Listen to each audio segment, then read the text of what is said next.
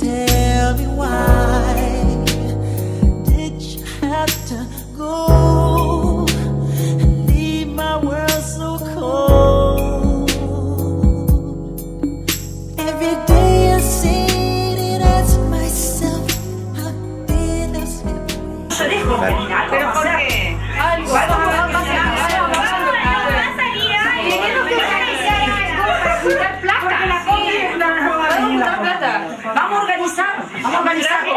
Vos hacés porcelana. Vos la ayudás. China, usted colabora con nosotros. Ustedes, ¿Qué hacemos? Yo puedo hacer algo. Vos tranquilas porque vamos con ustedes. A ver qué vamos. Vamos, vamos, vamos. Yo puedo hacer algo de remira, Ina.